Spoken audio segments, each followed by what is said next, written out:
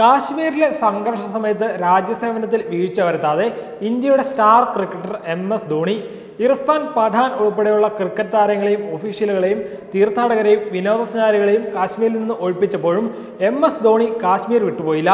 Territorial ആർമിയുടെ ഓണറെ lieutenant കേണലായ ഇന്ത്യൻ ക്രിക്കറ്റ് ടീം മുൻ ക്യാപ്റ്റൻ സൈനികർക്കൊപ്പം പട്രോളിങ്ങും പരിശോധന നടത്തുകയും ചെയ്യുന്നത് സ്ഫോടനാത്മക അന്തരീക്ഷം നിലനിൽക്കുന്ന കാശ്മീരിലാണ്. കഴിഞ്ഞ ദിവസമാണ് ജമ്മു കാശ്മീരിന് പ്രത്യേക പദവി കേന്ദ്ര സർക്കാർ എടുത്തു കളഞ്ഞത്. ഈ മാസം പതിനഞ്ച് വരെയാണ് കാശ്മീരിൽ ധോണി സൈനിക സേവനം നടത്തുന്നത്. സഹപ്രവർത്തകരോടൊപ്പം പട്രോളിംഗ് ഉൾപ്പെടെയുള്ള ജോലികളിലും ധോണി ഏർപ്പെടുന്നതായാണ് ദേശീയ മാധ്യമങ്ങൾ റിപ്പോർട്ട് ചെയ്യുന്നത്. രണ്ടായിരത്തി പതിനൊന്ന് സെപ്റ്റംബറിലാണ് ടെറിട്ടോറിയൽ ആർമിയിലെ ലഫ്റ്റനന്റ് കേണൽ പദവി എം എസ് ധോണിക്ക് നൽകുന്നത്. ബഹുമാനാർത്ഥം നൽകുന്ന പദവിയാണിത്. ശമ്പളമോ മറ്റ് ആനുകൂല്യങ്ങളോ ഇല്ല. നടൻ മോഹൻലാലിന് പിന്നീട് നൽകിയതും ഇതേ ലഫ്റ്റനന്റ് കേണൽ പദവിയാണ്. ധോണിക്കൊപ്പം ഒളിമ്പിക് സ്വർണ നേതാവ് ഷൂട്ടിംഗ് താരം അഭിനവ് ബിന്ദ്രയ്ക്കും ലഫ്റ്റനന്റ് കേണൽ പദവി നൽകിയിരുന്നു. പാരഷൂട്ട് റെജിമെന്റിനൊപ്പം രണ്ട് മാസമാണ് ധോണി സൈനിക സേവനം നടത്തുന്നത്. സൈനികർക്ക് ധോണി ക്രിക്കറ്റ് ബാറ്റിൽ ഒപ്പിട്ട് നൽകുന്ന ചിത്രവും നേരത്തെ പുറത്തു വന്നിരുന്നു. കാശ്മീരിൽ സൈനികരോടൊപ്പം ധോണി വോളിബോൾ കളിക്കുന്ന ദൃശ്യവും ഇപ്പോൾ പുറത്തു വന്നിട്ടുണ്ട്. സമൂഹ മാധ്യമങ്ങളിൽ ധോണി ആരാധകർ ഈ വീഡിയോ ദൃശ്യം വ്യാപകമായി പ്രചരിപ്പിച്ചതോടെ ക്രിക്കറ്റ് താരത്തിന്റെ വോളിബോൾ കളി വൈറലായി. ന്യൂസിലൻഡിനും ദക്ഷിണാഫ്രിക്കുമെതിരെ നടക്കുന്ന ട്വന്റി ട്വന്റി മത്സരങ്ങളിൽ ധോണി ഇന്ത്യക്കായി മടങ്ങിയെത്തുമെന്നാണ് റിപ്പോർട്ടുകൾ. അടുത്ത വർഷം നടക്കുന്ന ഐ പി എൽ മത്സരങ്ങളിലും ധോണി കളിച്ചേക്കും. അതേസമയം കാശ്മീരിന്റെ പ്രത്യേക പദവി റദ്ദ് ചെയ്തതിനെ തുടർന്ന് രാജ്യമെങ്ങും കനത്ത ജാഗ്രതയിലാണ്. കാശ്മീരിലേക്ക് ഇന്നലെ മാത്രം വിന്യസിച്ചത് എണ്ണായിരം സൈനികരെയായിരുന്നു.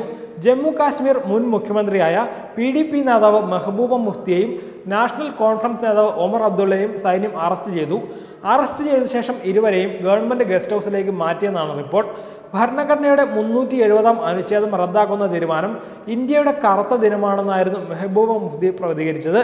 തീരുമാനം ജനാധിപത്യ വിരുദ്ധമാണെന്നും കേന്ദ്ര സർക്കാർ തീരുമാനം മഹാദുരന്തമാണെന്നും ജമ്മു കാശ്മീർ മുൻ മുഖ്യമന്ത്രി മെഹബൂബ മുഫ്തി ട്വിറ്ററിലൂടെ തുറന്നടിച്ചിരുന്നു.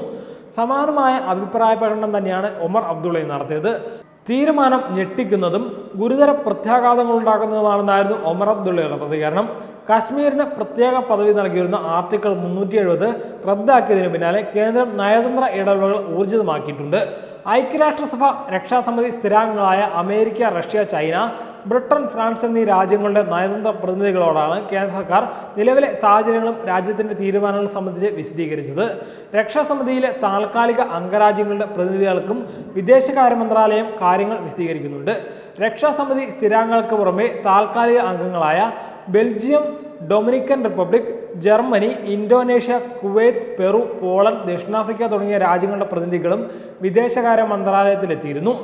ആർട്ടിക്കിൾ മുന്നൂറ്റി എഴുപത് വിഷയത്തിൽ പാകിസ്ഥാൻ രക്ഷാസമിതിയെ സമീപിക്കാനുള്ള സാഹചര്യം മുന്നിൽ കണ്ടാണ് ഇന്ത്യ നയതന്ത്ര തലത്തിലുള്ള മുന്നൊരുക്കങ്ങൾക്ക് തുറക്കമിട്ടത് ജമ്മു കാശ്മീരിൽ മികച്ച ഭരണവും സാമ്പത്തിക വികസനവും ഉറപ്പുവരുത്തുന്നതിന് വേണ്ടിയാണ് ഈ നടപടി സ്വീകരിച്ചതെന്നാണ് ഇന്ത്യ വിദേശ രാജ്യങ്ങളുടെ പ്രതിനിധികൾക്ക് മുന്നിൽ വിശദീകരിച്ചത്. ഇതിനായി പാർലമെന്റിൽ സ്വീകരിച്ച നടപടികൾ ഉൾപ്പെടെ വിദേശകാര്യ മന്ത്രാലയം രക്ഷാസമിതി അംഗങ്ങളോട് വിശദീകരിച്ചെന്നാണ് വിവരം. ജമ്മു കാശ്മീരിൽ സാമൂഹ്യ നീതി ഉറപ്പുവരുത്താൻ ഇതിലൂടെ സാധിക്കുമെന്ന് വിദേശകാര്യ മന്ത്രാലയ ഉദ്യോഗസ്ഥർ പറയുന്നു. ഇന്ത്യയുമായി നയതന്ത്ര ബന്ധം പുലർത്തുന്ന ബഹുരാഷ്ട്ര കൂട്ടായ്മകളായ ആസിയാനിലെ അംഗരാജ്യങ്ങൾക്ക് മുന്നിലും വിഷയത്തിൽ ഇന്ത്യ നിലപാട് വ്യക്തമാക്കിയിട്ടുണ്ട്. ലാറ്റിൻ അമേരിക്ക കരീബിയ എന്നീ മേഖലയിൽ നിന്നുള്ള രാജ്യങ്ങളുടെ പ്രതിനിധികളോട് വരും ദിവസങ്ങളിൽ ഇന്ത്യ നിലപാട് വിശദീകരിക്കും. Web desk Tatwamayi news.